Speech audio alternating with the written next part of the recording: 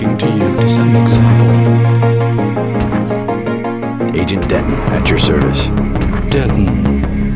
Yes, I hear you're turning out to be quite an asset to the Coalition. Doing my best, sir. Forgive me, but I do not believe I know your name. We aren't ready for an introduction yet. No, it's not time. Just keep your nose to the pavement. You will be well rewarded. Trust me. You aren't needed, Agent.